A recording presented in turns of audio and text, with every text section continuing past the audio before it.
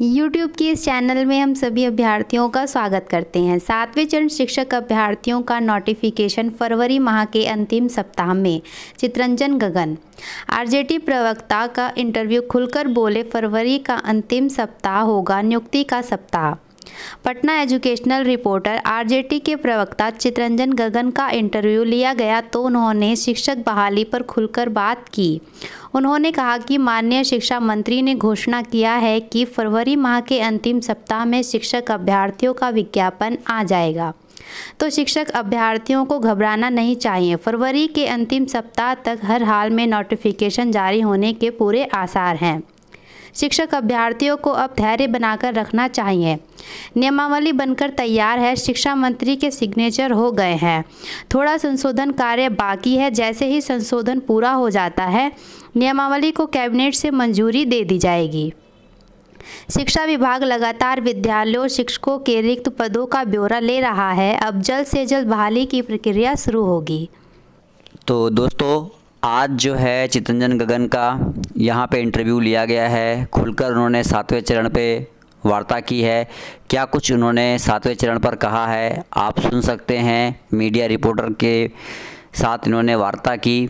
और पूरी बातें रखी हैं। सातवें चरण पर खुलकर बोले हैं कि शिक्षा विभाग के मंत्रीगण क्या कुछ कर रहे हैं और अब आगे की क्या प्रक्रिया होगी, क्या शिक्षा विभाग के भीतर हो रहा है। ये फरवरी का जो अंतिम सप्ताह होगा, नियुक्ति का बड़ा सप्ताह होगा। तो इस बार उन्होंने स्पष्ट रूप से बात कही है कि नोटिफिकेशन हर हाल में फरवरी के अंतिम सप्ताह में जारी कर दिया जाएगा शिक्षक अभ्यर्थियों का। तो सुनिए क्या कुछ कह रहे हैं आरजेडी के प्रवक्ता तो चलिए आपको लाइव इनकी वार्ता हम सुनाते हैं दोस्तों। अभ्यर्थी में भी जो सो बहुत नेता हो गए एक चीज़ हम अभ्यर्थियों से कहेंगे। पर सच बताइएगा नोटिफिकेशन कब आएगा? बिल्कुल सच बता रंजन गगन जी हमेशा ट्वीट करते हैं आवाज़ उठाते हैं लेकिन एक नंबर के झूठे प्रवक्ता है ये। नमस्कार बिहारी प्रतिभा न्यूज़ में आपका स्वागत है। अभी हम मौजूद है आरजेडी कार्यालय में हमारे साथ चित्र रंजन गगन जी है। और जिस तरीके से शिक्षक अभ्यर्थी तीन दिवसीय धरना प्रदर्शन किए थे और शिक्षा मंत्री के बातों पे कहीं ना कहीं भरोसा नहीं हो रहा है। तेजस्वी यादव भी आश्वासन दिए थे, इस पे उनका क्या कहना है? और शिक्षक अभ्यर्थी जो लगातार धरना प्रदर्शन कर रहे हैं, उग्र होते जा रहे हैं शिक्षा मंत्री के बयान के बाद।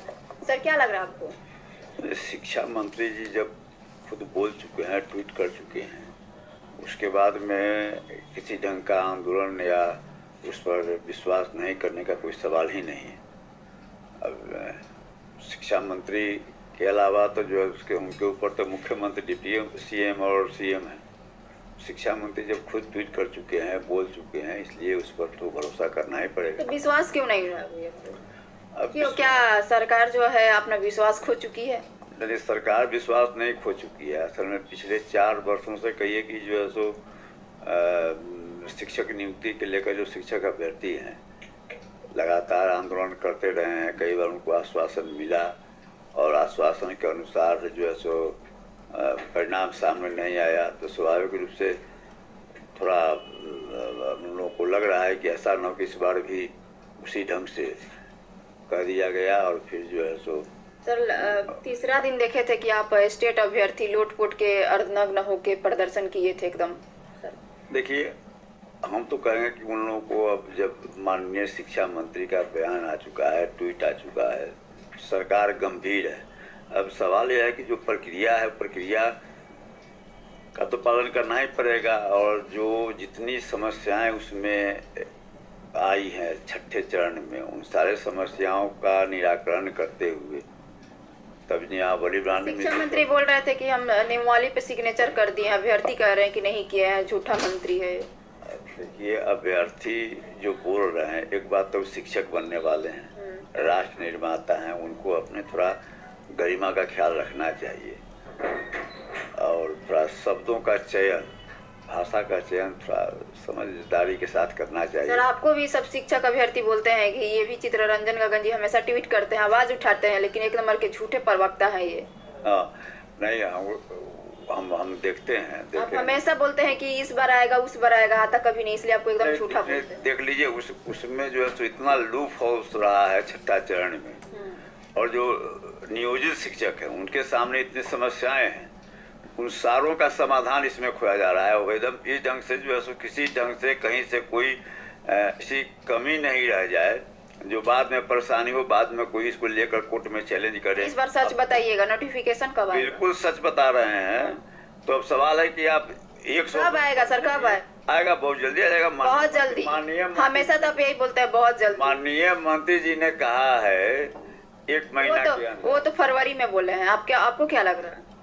माननीय मंत्री जी बोल देते फिर उसके बाद में इपट कहाँ से है? लेकिन एक चीज़ हम अभ्यर्थियों से कहेंगे कि थोड़ा पेशेंस रखना चाहिए। फरवरी तो चल ही रहा है सर। फरवरी चल रहा है तो फरवरी फरवरी ना बोले हैं तो अभी जो है सो क्या तारीख है? तेरह तारीख है।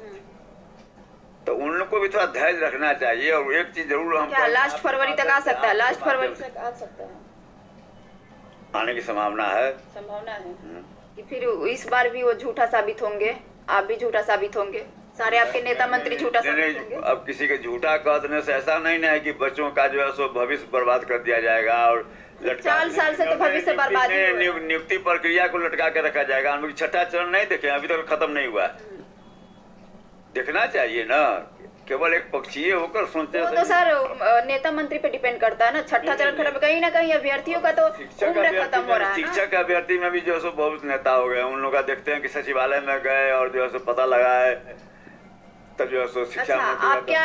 क्या संदेश देंगे शिक्षक अभ्यर्थियों को पेशेंस रखिए पेशेंस रखें शिक्षा मंत्री के बातों पर भरोसा करें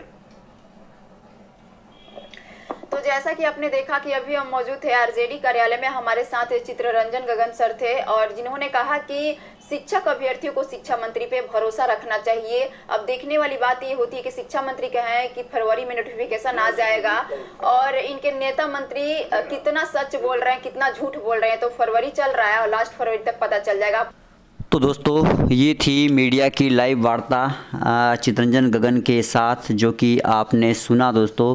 स्पष्ट रूप से पूरी की पूरी वार्ता इन्होंने की और बताया कि क्या कुछ राय है चितरंजन गगन की तो आपने सुना इसे। देखते हैं क्या कुछ होता है। फ़िलहाल तो इन्होंने भी फरवरी माह का अंतिम सप्ताह बता ही दिया है। दोस्तों, इस वीडियो में इतना ही। कमेंट बॉक्स पे अपनी राय ज़रूर दें। वीडियो को शेयर कर दीजिए। धन्यवाद दोस्तों। जय हिंद, जय भारत।